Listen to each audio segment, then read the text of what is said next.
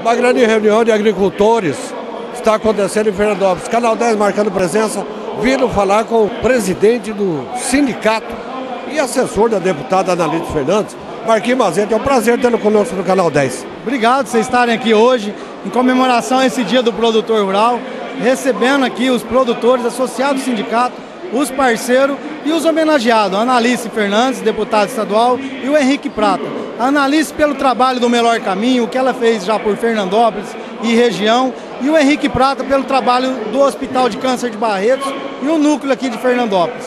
Marquinhos, uma grande reunião. É uma grande reunião. Os produtores prestigiam, a comunidade rural está aqui presente hoje, não só de Fernandópolis, mas na, nas nossa extensão de bases. Marquinhos, me desculpe até a falta de conhecimento, mas essa me parece a primeira reunião para valer do pessoal ligado à agricultura. É, todos os anos nós fazemos esse tipo de evento. É um evento tradicional já em comemoração ao Dia do Produtor, onde a gente presta o serviço para o associado, passa para ele um relatório do que a gente vem trabalhando durante o ano. E esse ano se repete novamente em parceria aqui com a, com a comunidade católica. O teu sindicato sempre fazendo cursos, estamos divulgando um atrás do outro, que maravilha junto com o Senar.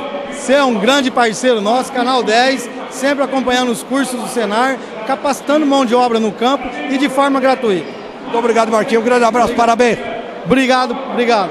Muito obrigado. Marquinhos Mazete falando conosco aqui no nosso Canal 10.